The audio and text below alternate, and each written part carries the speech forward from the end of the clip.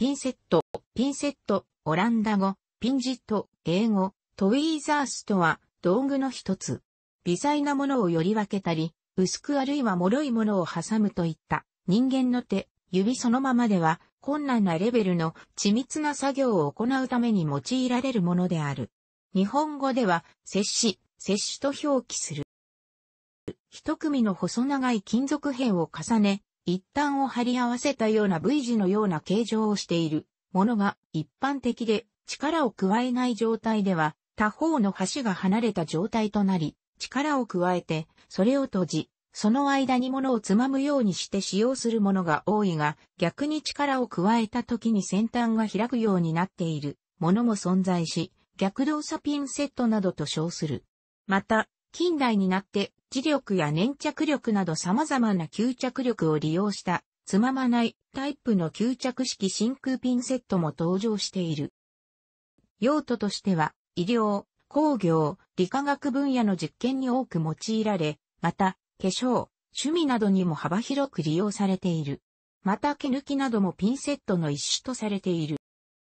用途によりその形状、材質、機能などは様々なものがある。先端の形状としては、極微な作業を行うものは国防で尖ったものであることが多いが、他にも先端部が 3mm 程度の幅を持ちやや、丸みを帯びた形状で、滑り止めのためにギザギザの加工がされているもの、切手などを取り扱うためのものは紙を傷めないよう先端を平たい板状にしているのなど、様々なのである。天秤ばかりに使われる奮闘をつかむためのものは、つかみやすいように先端が湾曲している。この形状のもの全般をつる首ピンセットと呼ぶが、中でも先端の向きとは逆方向に沿り、先端に向かって A の字に曲がったタイプは、繊細な作業に適すよう設計されている。また、極めて小さいものを保持している間に、対象物を弾き飛ばしてしまうことがあるため、弾き飛ばしを軽減するために、先端をあえて厚手に、太めに作られるものもある。これによって広い範囲に均一に伝わることで保持しやすくなる。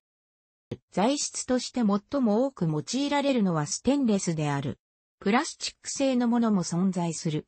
挟む対象が静電気などに敏感である場合など、竹やセラミック製のものが用いられる場合も多い。プリント基板用には、先端がフェノール樹脂となったベークピンセットなどと呼ばれるものが好まれる。ベークはフェノール樹脂の別名、ベークライトに由来する。静電気対策もさることながら、ヤスリなどで形状を調節できる、標準的なステンレス製より柔軟なため、傷がつきにくいといったメリットもある。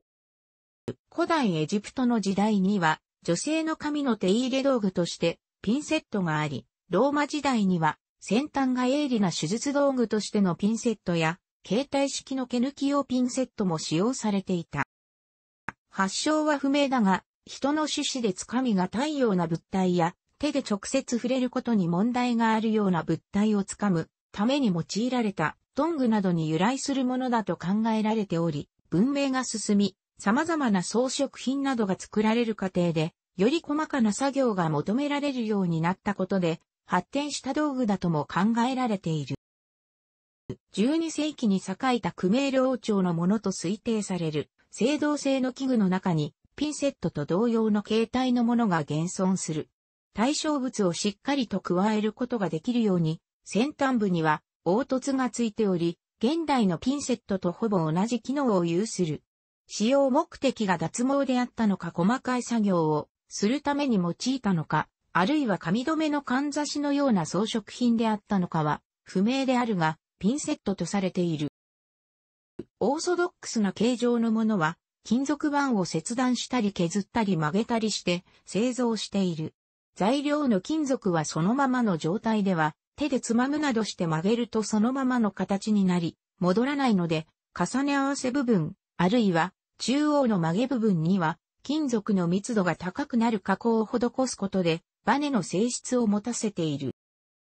日本国内で製造されるピンセットの約6割を東京都荒川区の雪数ピンセット工業、いわゆる下町の町工場の雰囲気もある会社が製造しており、同社は200数十種類ものピンセットを製造していい。血管の手術に用いるものなど特に先端の細さが要求されるものでは、実に 0.05mm ほどになるような加工もしている。このレベルの精密な先端加工は、自動機械では困難であり、職人が自身の目と手とヤスリと拡大鏡を用いて行っているという先端が細いほど血管手術などで低侵襲を実現することができ、患者の術後の治癒が早くなるといい、医療の質の向上、人々の QOL に貢献している。また同社では、医師などからの依頼に応じ特殊なピンセットのオーダーメイド製造もおり、例えば手術でカテーテルを体から取り出す際に、そう転がしながら癒着を剥離できるパイプを挟んだまま先端をスライドさせられるようなものも製造したことがある。ヨーロッパの製造会社ではデュモント、デュモント、スイスのピンセット専門メーカーなどが知られている。楽しくご覧になりましたら、購読と良いです。クリックしてください。